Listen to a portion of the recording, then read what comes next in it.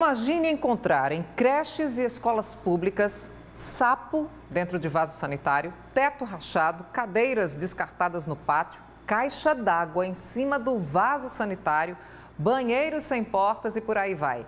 Essas foram algumas irregularidades registradas durante uma fiscalização do Tribunal de Contas do Estado. No Cabo de Santo Agostinho, morcegos foram encontrados no teto de uma escola. Em Olinda, a organização desse espaço foi reprovada. No município de Oricuri, o teto da sala de aula estava rachado. Em Exu, cadeiras e latas de sardinha foram descartadas de forma irregular no pátio. Em Vitória de Santo Antão, o quadro de luz oferece risco às crianças. Essas imagens foram feitas pelo Tribunal de Contas do Estado de Pernambuco, que fiscalizou cerca de 2.500 creches e pré-escolas públicas que atendem crianças de 0 a 5 anos de idade em todos os municípios do estado.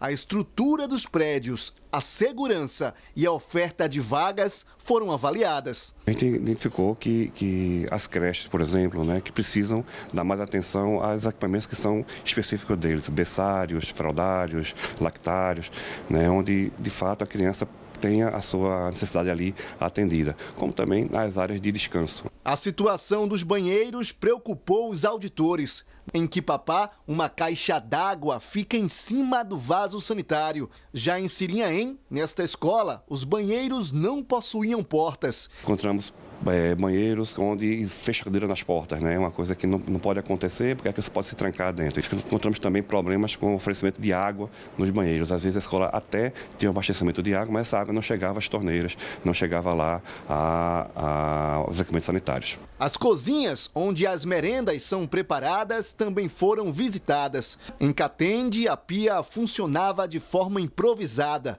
Em Araripina, a cozinha apresentava vários problemas estruturais Outra coisa que chama a atenção é o estado né, de conservação das cozinhas. Né? Eu acho que o investimento grande precisa ser feito nesses ambientes né, para que os alimentos possam ser manipulados ali de forma adequada e que tragam né, a questão da higiene certo? e a questão do armazenamento, inclusive, desses alimentos de forma mais adequada. Essa foi a primeira vez que a situação de creches e pré-escolas foi analisada pelo TCE. Em uma escala de 0 a 100, a nota geral do estado ficou em 58,9.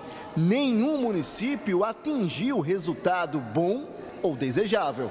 Os municípios mais bem avaliados foram Caetés, Cupira, Sanharó, Recife e Petrolina. Os que receberam as menores notas foram Manari, Pombos, Correntes, Angelim e Buenos Aires. Em relação a vagas, municípios da região metropolitana do Recife apareceram nas piores colocações.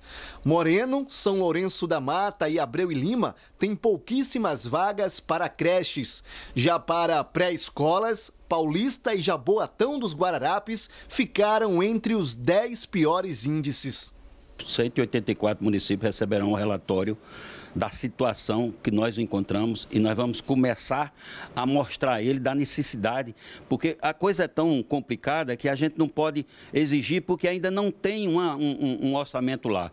O financiamento é mínimo do governo federal, do governo do estado e dos governos municipais. Esses três entes federativos, eles têm responsabilidade. Então, a partir a partir dessa transparência, a gente vai poder, inclusive, punir aqueles municípios que não é, garantirem os direitos da primeira infância.